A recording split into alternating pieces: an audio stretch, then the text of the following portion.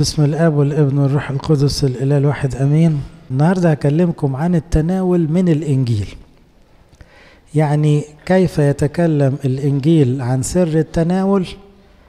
مش بس من وجهة دفاعية من وجهة حياتية كمان. لأنك لما تعرف ال background الكتابي يعني الآيات اللي خدمت سر التناول وانت بتتناول هيفرق معاك كتير.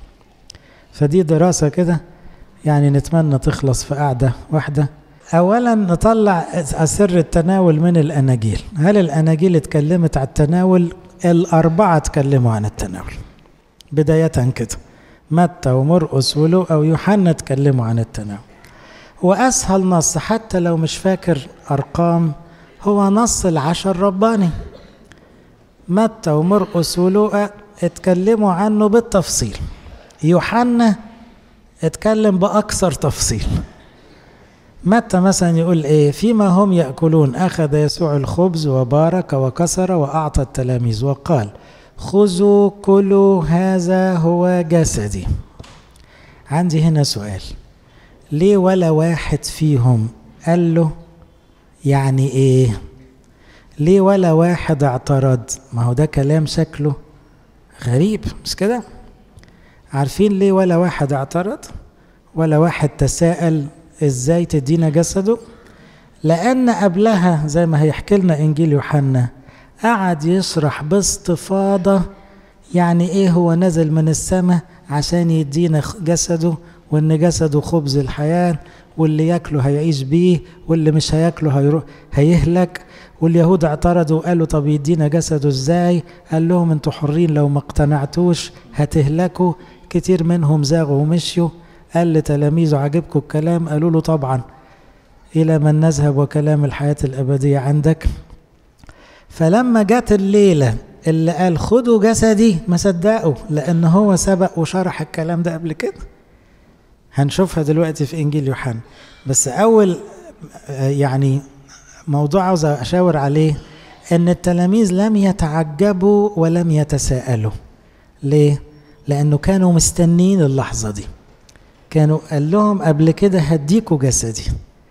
وجسدي هيتاكل وما كانوش فاهمينها أو ما كانوش مستوعبينها لغاية ما جه في ليلة صليبه وأمسك الخبز وبارك وكسر وقال هو ده جسدي.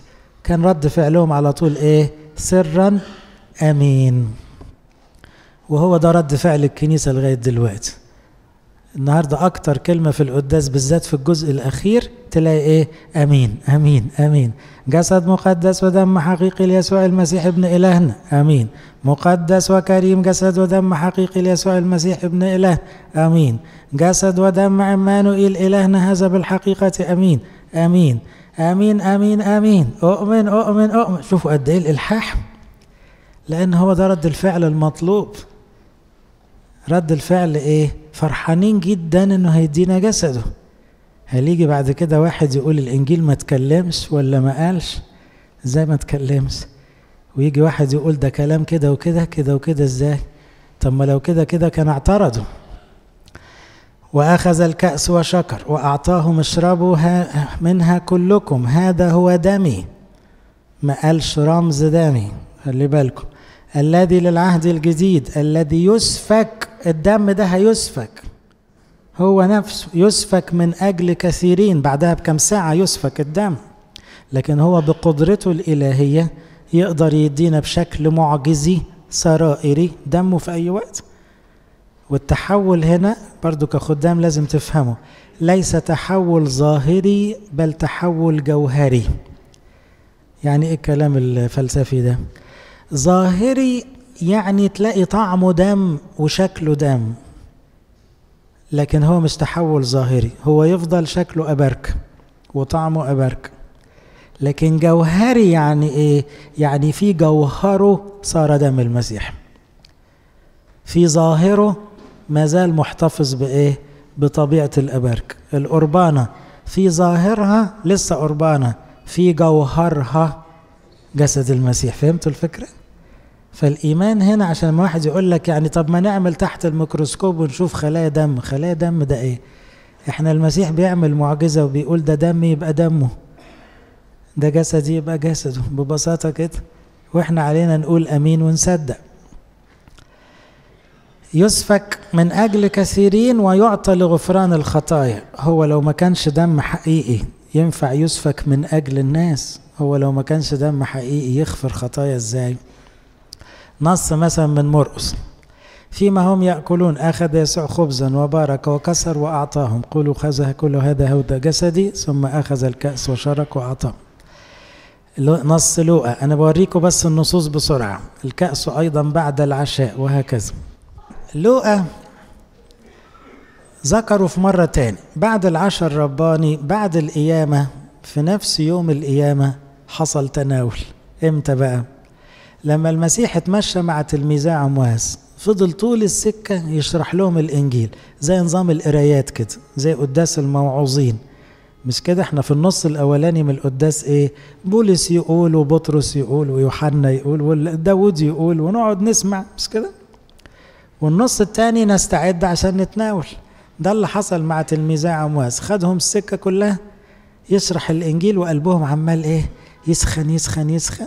وبعدين أول ما دخل مسكوا فيه عرفاه عند كسر الخبز. ومن ساعتها الكلمة دي بقت هي اللي إيه مستخدمة بعد كده في سفر الأعمال وفي الرسائل. إنما هيسموها كسر الخبز ليه؟ لأن المسيح كسر وكان له طريقة معينة. لكن هل ده خبز طبيعي؟ لا طبعا.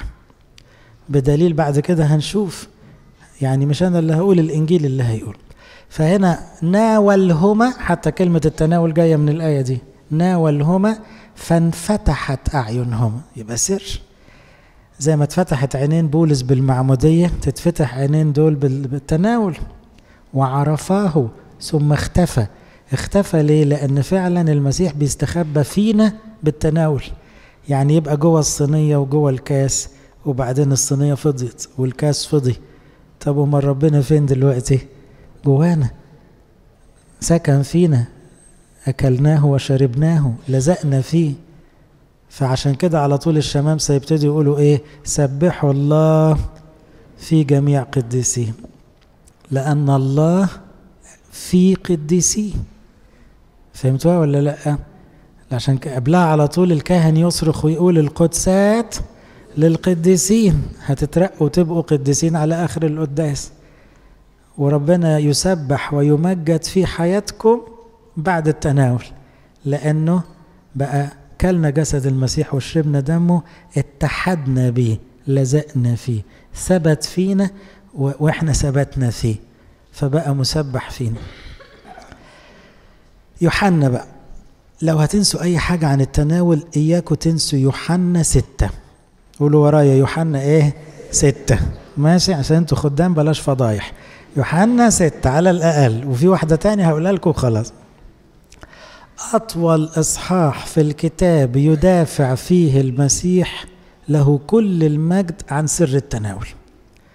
واقروا كل القديسين الأوائل وتفسيراتهم محدش فيهم فهم الكلام ده إلا زي ما إحنا فاهمينه دلوقتي. يعني إيه؟ هو لو المسيح بيتكلم بشكل مجازي واتغاظوا منه اليهود كان قال لهم يا جماعة أنا بقول كلام كده وكده يعني مجازا. لكن لأنه فضل يصر يقول جسدي ودمي جسدي ودمي سابوه ومشوا أصل هم عقلهم تعبهم. يدينا جسده يعني إيه؟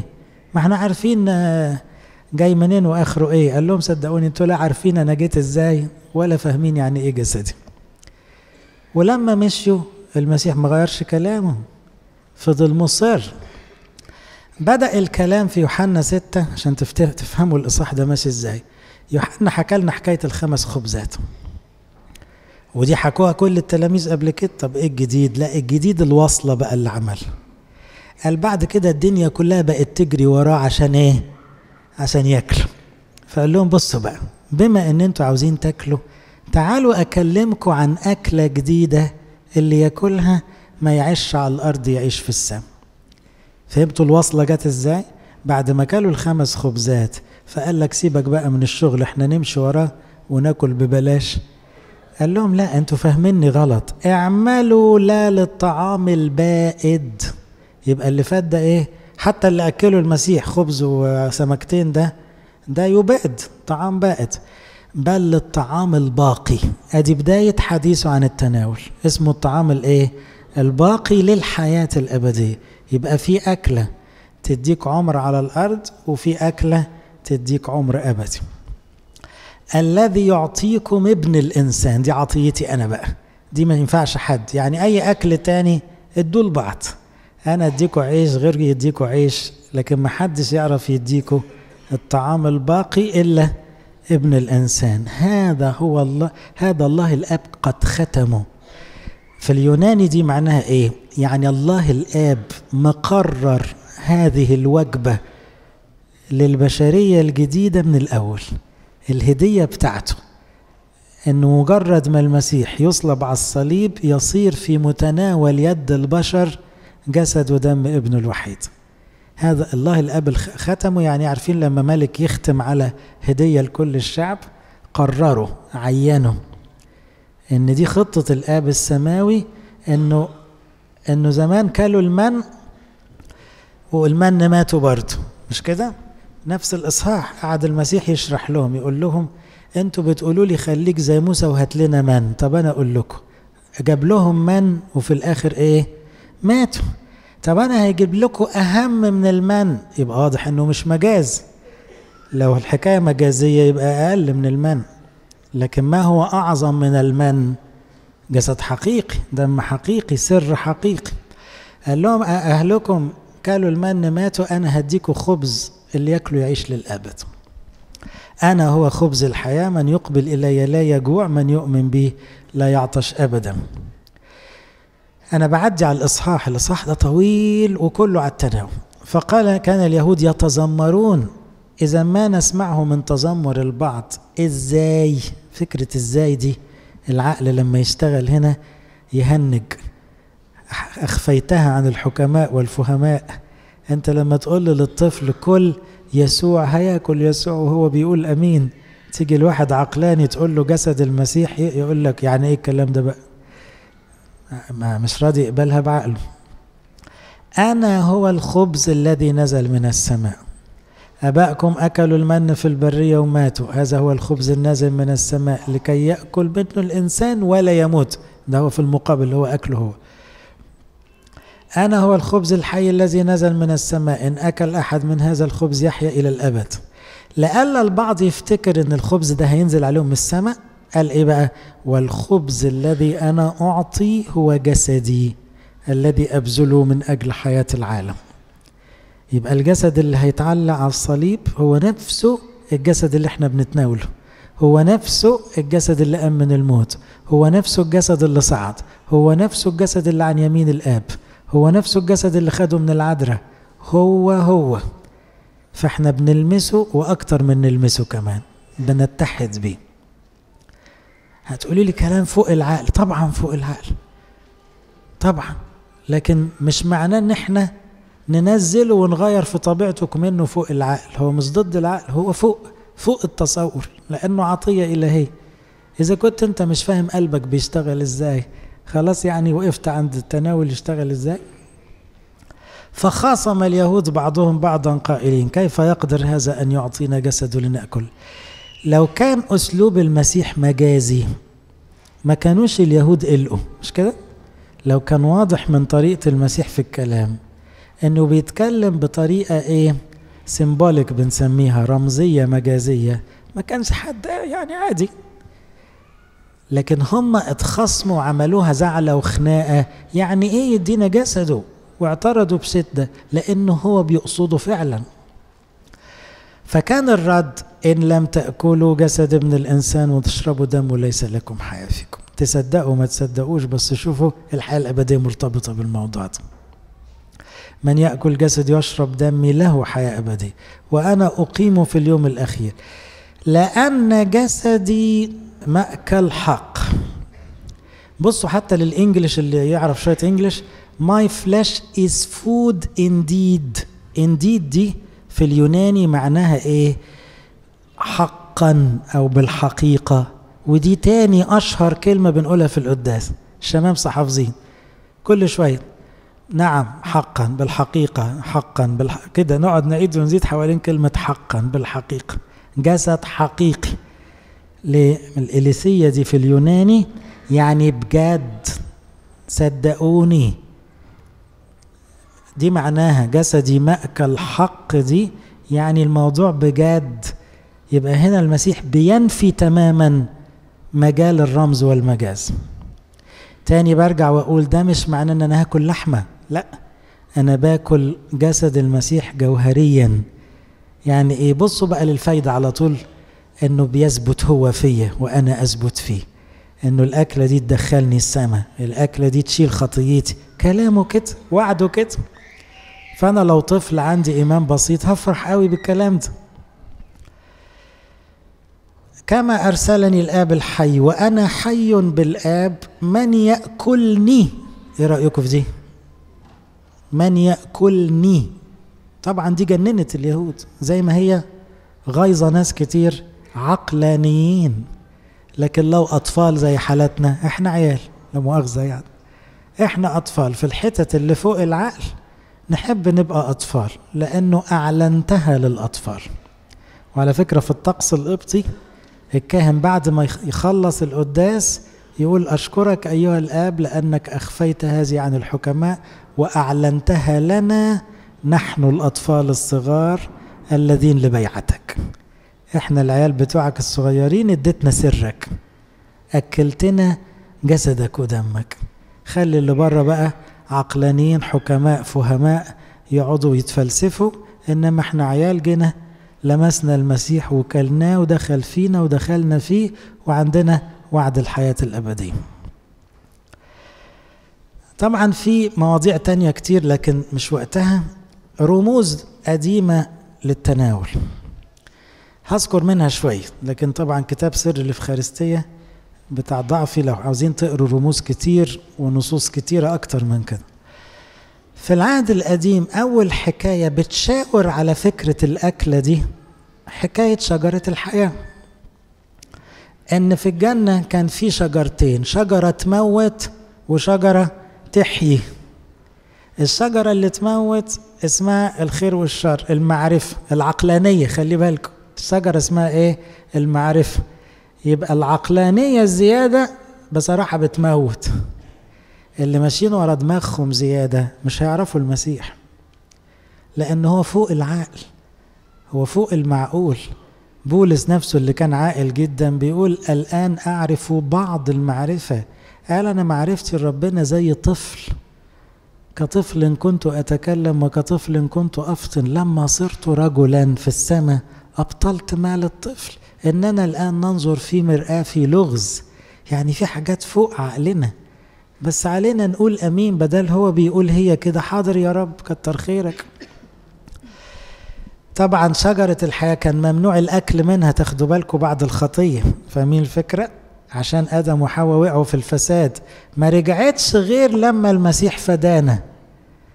يبقى كل العهد القديم يا عيني محرومين من الأكلة دي. عشان كده نقول في القداس أنبياء وأبرار إيه؟ اشتهوا مش طايلين الأكلة دي.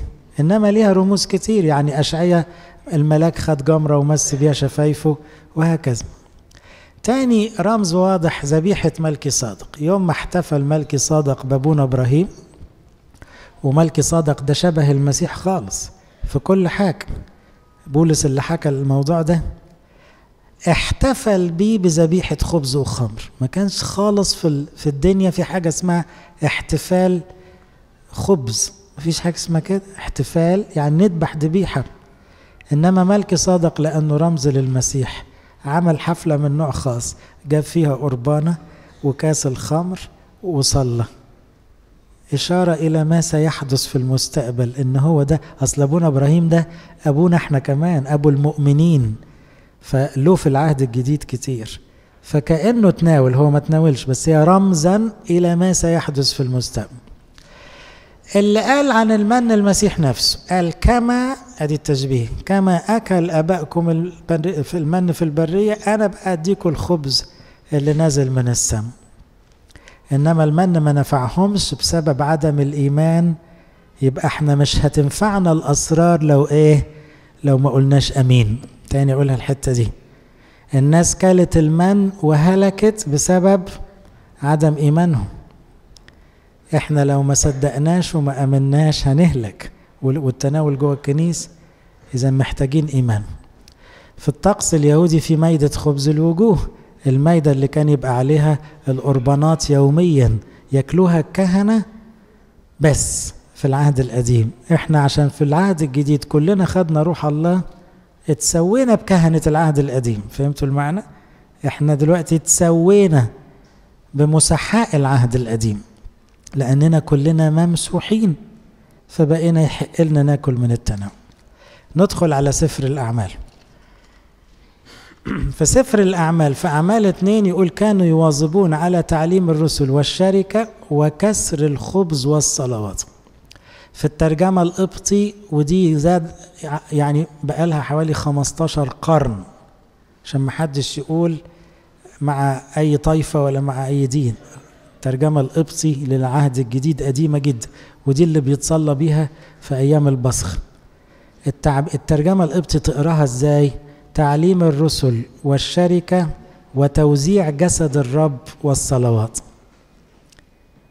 أنا بس بوريكم إن الترجمة عشان تعرفوا إن الترجمات اللي في إيدينا أحيانا يبقى مقصود بيها يلغي الألفاظ اللي إحنا عارفينها في الكنيسة. يعني ممكن يتقال عليها فخارستية ممكن يتقال عليها التناول لكن لأن اللي ترجمه عربي ما هماش مؤمنين بالأسرار فبيستخدموا الألفاظ اللي إيه تحتمل ده وده. ومن هنا بتيجي اللخبطة. يقول لك ومين قال إن كسر الخبز ده سر؟ آه ما أنت أصلك ترجمت لفظة واسعة تحتمل كل حاجة. لكن لو أنت أمين قوي للترجمة من اليوناني وعندك عقيدة ألفين سنة ما كانش يضايقك ابدا إنك تكتبها توزيع جسد الرب. برضه في نفس النص ده يقول مسبحين الله وهم بيتناولوا ولهم نعمة لدى جميع الشعب. يبقى وهم بيتناولوا بيسبحوا. في النص بتاع التناول في نفس الباراجراف ده. وبعدين يقول لك يكسرون الخبز في البيوت. عارفين ليه؟ أنا شرحتها في سفر الأعمال. لأنه ما يقدرش يعمل قداس في الهيكل اليهودي. ليه؟ جنبه على طول في ذبيحة حيوانية. ما تجتمعش ابدا ذبيحة عهد قديم مع ذبيحة عهد جديد. ممنوع. ما يبقاش حيوان بيتذبح ومسيحنا مذبوح على المذبح. لا. في فصل هنا صريح. فكانوا يدخلوا يصلوا المزامير في الهيكل زيهم زي اليهود إنما في البيوت اللي أول كنايس يعملوا قداس ويكسروا الخبز. ما ياكلوش من ذبايح اليهود الحيوانية ياكلوا من ذبيحة المسيح الافخارستيه فيقولوا يكسرون الخبز في البيوت مسبحين الله ولهم نعمة. أدي السر؟ السر نعمة. سر التناول نعمة تبان على الناس. في نفس السفر في أعمال عشرين في أول الأسبوع مين يحسب أول الأسبوع تيجي إزاي؟ يوم إيه؟ يوم الحد لأنه حسب حسبة الكتاب. خلق الأول الثاني الثالث الرابع وفي السابع استراح وده آخر الأسبوع. يبقى الأحد هو أول الأسبوع وحتى في العربي لسه بنقولها إيه؟ واحد. يعني دي مظبوطة دي؟ واحد اتنين تلات يعني ترتيب الأيام حتى في لغتنا ماشي على لغة الكتاب. أن اليوم الأحد هو اليوم الأول في الأسبوع حتى في العربي مش كده؟ واحد اتنين تلاتة أربعة خميس خمسة. في أول الأسبوع يبقى اجتماع الكنيسة الأساسي يوم الحد يبقى في عقيدة الحد. كان التلاميذ مجتمعين غرض الاجتماع إيه؟ كسر الخبز. يبقى الناس بتيجي قداس الحد عشان تتناول. هي دي الكنيسة من أولها. أبسط كنيسة زمان هي دي. يجتمعوا كل حد يسمعوا الرسل والوعظة ويتناولوا وياكلوا لقمة مع بعض ويرجعوا يستشهدوا بعد كده كل واحد في بلده. أدي الكنيسة الأولى. كانوش يقدروا يجوا كذا يوم ولا اجتماعات ولا حاجات زي كده.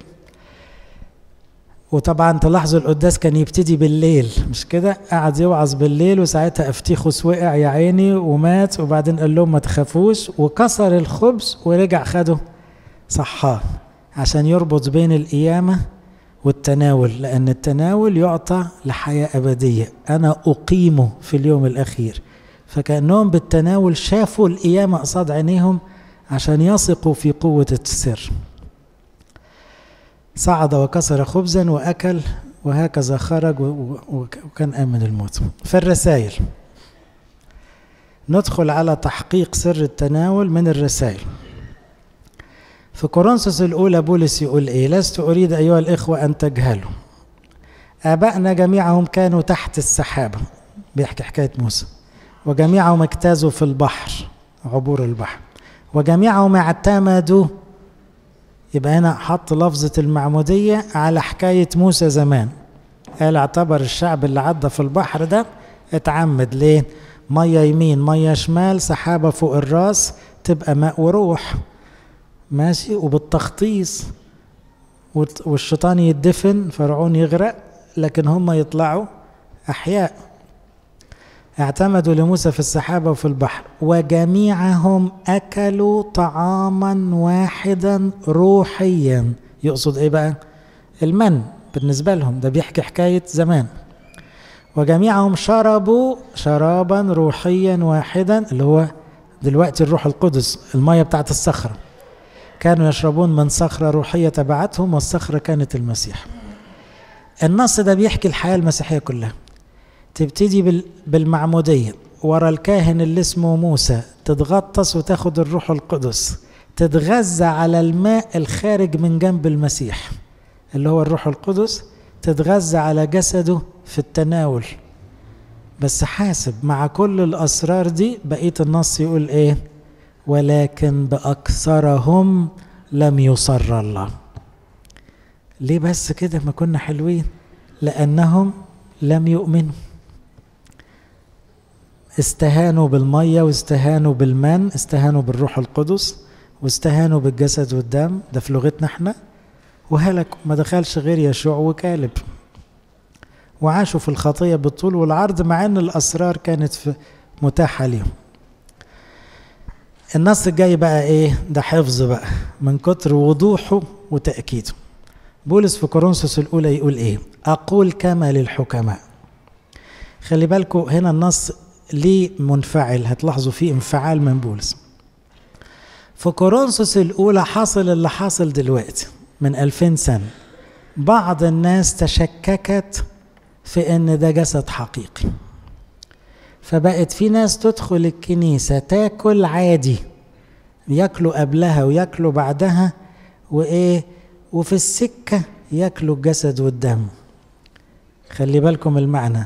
يعني نظروا إلى الجسد كأنه أكل عادي. ومن هنا بولس سلخهم. هتشوفوا بولس بقى لما يسخن. عشان تعرفوا إنه إيه الموضوع بالنسبة له كان حساس جدا. فخدهم بالراحة الأول كورنثوس الأولى عشر. قال لهم هكلم ناس عاقلين. أقول كما للحكماء. احكموا أنتوا في اللي بقوله. كاس البركة اللي بنباركها دي. مش هي شركة دم المسيح. ده معناه إيه؟ مش سامعين أبونا بيقول وباركة مش سامعينه بيقول دم حقيقي. مش أنتوا متفقين إن إحنا بنشترك في دمه في الكاس دي؟ مش أنتوا استلمتوا الكلام ده؟ الخبز الذي نكسره أدي كسر الخبز أليس هو اشتراك في جسد المسيح؟ خلي بالكم هو بيتكلم بأسلوب إيه؟ مش الكلام ده متفق عليه. مش الكلام ده كلنا عايشينه. نشوف بقية النص يقول إيه. إننا نحن الكثيرين خبز واحد جسد واحد لأننا جميعنا نشترك في الخبز الواحد. طب وأنت محموق ليه؟ ومتضايق ليه؟ منفعل ليه؟ إيه الموضوع؟ نكمل يبان الكلام.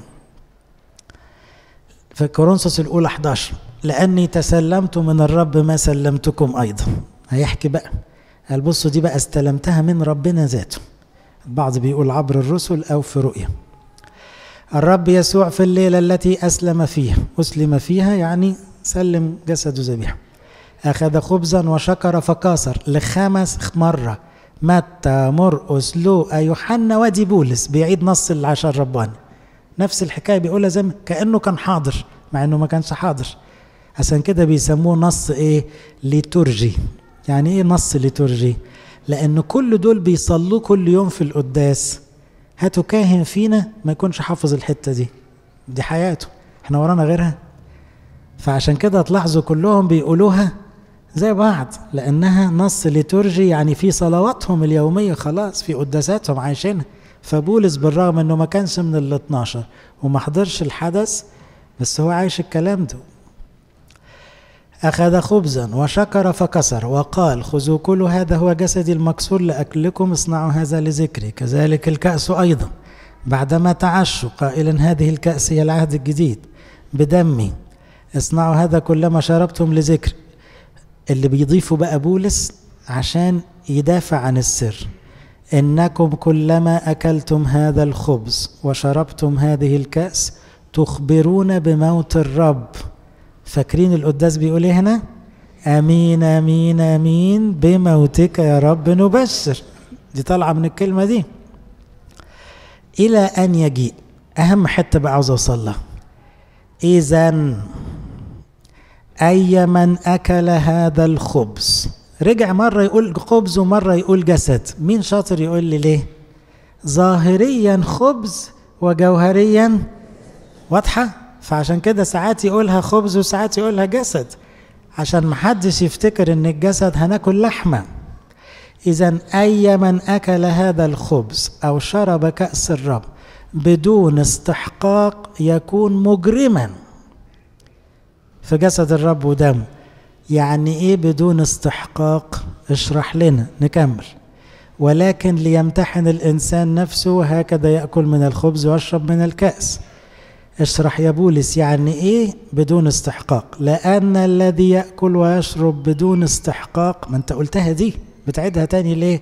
هيضيف حتة مهمة. يأكل ويشرب دينونة لنفسه. ليه ده كله؟ غير مميز جسد الرب. دي الكلمة اللي عاوز أوصل لها. اصله الجاهل ده ما كانش واخد باله إن ده إيه؟ جسد حقيقي. فهمتوا معناها؟ يبقى مين الغير مستحق للتناول؟ اللي جاي يتناول وفاكرها أكل عادية. أدي المقصود بعدم الاستحقاق. ياخد دينونة لنفسه ويبقى مجرم في حق المسيح. واضحة؟ شوفوا اندفاع بقى بولس وانفعاله تحسوا إنه إيه ثائر جدا. من أجل هذا فيكم كثيرون ضعفاء ومرضى وكثيرون يرقدون. يا في ناس بتموت أيوه. في ناس بتعيا أيوه. بيتعاقبوا بيتأدبوا طبعا لأنهم استهانوا بالجسد والدم. يبقى ده تعليم كتابي ولا ألفناه؟ مش ده بولس اللي إحنا بنقرأه كل يوم؟ بيدافع باستماتة عن حقيقة الجسد وحقيقة الدم وكرامة جسد ودم المسيح ويقول ده اللي استلمناه ده اللي عايشين بيه وده اللي الكنيسة كلها مسلمة بيه. يبقى عدو الخير هو اللي لخبط دماغ الناس ولغى حكاية الحقيقي أصبحت الناس غير مميزة فبالتالي راحت أعظم عطية اداها المسيح للبشرية. العطية اللي جه من السماء يديها لنا جسده ودمه أبطل الشيطان مفعولها بتعاليم خاطئة. عشان كده إحنا بنصلي لإخواتنا الذين لا يؤمنون بالإفخارستية لأن هم خسروا أكبر عطية في حياتهم. إحنا بنحبهم وبنصلي لهم لكن ما ينفعش إنه نتنازل عن أغلى ما نملكه إنه جسد ودم حقيقي ده أبونا بقى عشان الحتة دي ظهرت في القرون الأولى. انضاف في القداس تعبير غريب شوية. أؤمن ها وأعترف. الله إيه اللي دخل النفس الأخير؟ هنا معناها إيه؟ ده نموت فيها دي بقى. يعني إلا دي محدش يقرب من دي. أؤمن أؤمن أؤمن وأعترف إلى النفس الأخير أن هذا هو الجسد المحيي بعينه. المحيي يعني اللي بيدي حياة أبدية الذي أخذه ابنك الوحيد من سيداتنا وملكتنا كلنا وجعل واحد مع لاهوته. وهو ده اللي اتصلب في عهد بيلاطس البنطي ويعطى عنا خلاصا وغفرانا وحياة أبدية. أؤمن أؤمن أؤمن. هو لو كان مجاز كان هنقعد نهاتي ده كله ونعترف للنفس الأخير ونطلع مجرمين في حاجة مجازية. واضحة جدا الحكاية. عشان كده يقول لو حكمنا على أنفسنا لما حكم علينا. يعني إيه؟ خلينا نحكم. ده إحنا عندنا حاجة كبيرة قوي. يصح الواحد وهو داخل يراجع نفسه مئة مرة وهو بيقرب من الجسد. إحنا عمالين نقول يا بختكم يا رسل شفتوا المسيح ده انت مش بتشوفه ده انت بتلمسه وتاكله. يا بختكم يا رسل ليه؟ وانت يا بختك مليون مرة. ده الأنبياء بيقولوا لكل شعب الكنيسة يا بختكم اشتهوا ما نحن نرى وما نحن نسمع فطوبى لعيونكم وطوبى لأذانكم. يبقى واضح قوي في كورنثوس احفظوا بقى. قلنا يوحنا ستة كورنثوس الأولى 11 قولوا معايا يوحنا ستة كورنثوس الأولى. كمان مرة. يوحنا ستة وكورنثوس. نصين لو قريتهم لوحدك بأمانة بأي لغة لازم لازم تقول عاوز اتناول يعني أنا أحكي لكم حكاية. واحد غير مسيحي دخل الأول شهود يهوه وده أنا أعرفه شخصيا يعني. اقنعوه بحكاية شهود يهوه وبعدين ابتدى يقرأ الإنجيل ويدرس وجه عند يوحنا ستة وكان يعرف كذا لغة. قرأها عربي وإنجليزي ويوناني وعبري و... فبكل اللغات بتقول إن في حاجة بتتاكل. فراح لبتوع شيوخ شهود يهوة قال لهم عاوز ده. قالوا له إيه ده؟ فتح لهم الصفحة. فين الجسد؟ مخبيينه فين؟ عاوز ده لازم أكله. المسيح بيقول في حاجة تتاكل وتتشرب تدي حياة أبدية. يقولوا يمين يقولوا شمال قال لهم بصوا ما تضحكوش عليا. أنا فاهم كويس ودارس كويس. قالوا له تبقى شيخ في شهود يهوه. اتعرض عليه يبقى واحد من الرؤساء بمرتب كبير. قال لهم أنا مش هتنازل عن ده. ده بيدي حياة أبدية وغفران خطايا. وترك الكلام ده وسافر بره وقعد يدرس وبقى أرثوذكسي. وبقى مكرس بعد كده. لأنه اكتشف إن هي دي الحقيقة اللي إحنا في إيدينا عايشين بيها ببساطة الأطفال ومش واخدين بالنا من العز اللي عندنا والناس بتزق بعض وهي داخلة على التنا. نكمل. في رسالة أخرى إذا إن كنتم قد قمتم مع المسيح عن أركال العالم فلماذا كأنكم عائشون في العالم تفرض عليكم فرائض لا تمس ولا تزق ولا تجس؟ التي هي جميعها للفناء في الاستعمال حسب وصايا وتعليم الناس التي لا حكاية حكمة بعباء إيه القصة دي مقصود بالنص ده إيه؟ تعبير قاله بولس. كل حاجة بره الكلام ده ليس بقيمة ما من جهة إشباع البشرية. حط صيامات قد كده. حط بقى إيه؟ سبت وحرص وحرفيات وفرائض واغتسالات و... ما يشبعش الكلام ده ما يشبعش البشرية. اللي يشبع البشرية المسيح نفسه جسده ودمه روحه. روحه اللي بناخدها في الأسرار نمتلئ بالروح. فحسبه لنغرق في ممارسات كثيرة دون أن نشبع بالمسيح.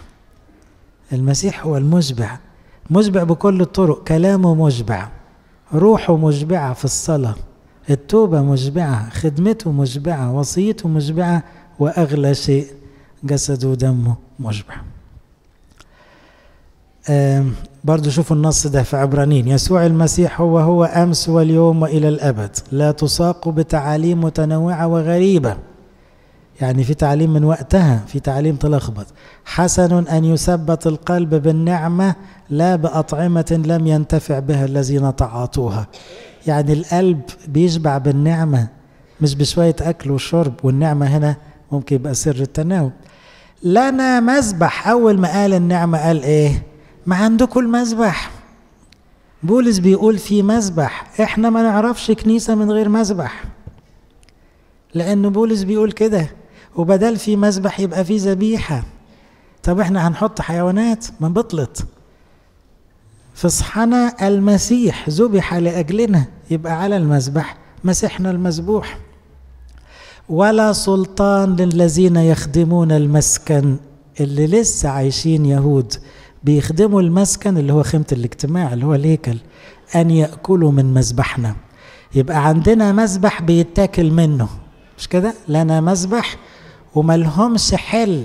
اللي لسه بيدخلوا الهيكل اليهودي ياكلوا من الحيوان المذبوح أن يتقدموا فيأكلوا من مذبحنا. يبقى الكنيسة بتتناول ولا لا؟ يبقى بنتناول وعندنا مذبحنا الخاص بينا اللي بناكل منه جسد ودم ربنا ونمنع أي يهودي أو أي غير مؤمن بالمسيح المذبوح أن يقترب من المذبح. يبقى واضحة في عبرانيين أنه طقس الكنيسة موجود وأنه ذبيحة الإفخارستية موجودة طبعا في معاني أخرى تلاقوها في الرؤيا نذكر منها آخر نص بس. يقول في السماء شاف منظر جميل قوي في وسط السوق على النهر من هنا ومن هناك شجرة حياة. فاكرين شجرة الحياة؟ الشجرة دي بقى إيه؟ تعطي كل شهر ثمرها. ما هو ثمرة الشجرة حباية الحنطة اللي هي المسيح اللي بيعمل خبز الحياة. فورق الشجرة لشفاء الأمم. يعني إيه؟ ما هي شجرة الحياة اللي طالع منها خبز الحياة اللي هو على المذبح دلوقتي الخبز النازل من السماء. شغلته إيه ده بقى؟ يشفي الأمم. نحن نتشرف أن نكون أمم بالمناسبة. إحنا مش يهود. والأمم كان محكوم عليهم بالهلاك. ما يعرفوش المسيح. لكن بنخف بالإفخارستية بنشفى. إحنا جايين كلنا عيانين جايين كلنا هفتانين تعبانين ضعفانين. الخطية غلبانة والخوف غالبنا ومليانين العبر. بس إحنا جايين إيه؟ يحق لنا النهارده بالمعمودية اللي خدناها أن نأكل من هذه الذبيحة من شجرة الحياة. فنشفى من كل الخوف والقلق والخطية والشهوة وكل ده. عشان كده أنا بستغرب إن خادم فيكم يقعد أسبوع ما يتناولش. أسبوع تقعد ما تتناولش ما تاخدش الدواء الدواء الروحي بتاعك. طب منكم يعني نص الناس اللي موجودين بياخدوا أدوية زي حالات. أنت لو فات عليك يوم ما تاخدش دواء بتبقى حالتك خطر. تقعد أسبوع كامل ما تتناولش. بقى المسيح يدينا يعمل ده كله عشان يدينا جسده ودمه. وإحنا قاعدين في بيوتنا سايبينه على المذبح. فين إيمان الأطفال اللي يخليك تيجي أول واحد مشتاق وهفتان وبتقول له يا رب مش عاوز غير كده. أعطيني جسدك ودمك. أنتوا عارفين عندنا لحن قبطي جميل قوي يتقال وقت التناول لحن بي أويك. خبز الحياة النازل من السماء الواهب الحياة للعالم. لحن ممتع. لما يتقال كده بحس حلو من الشمامسة تحس إن إحنا في السماء.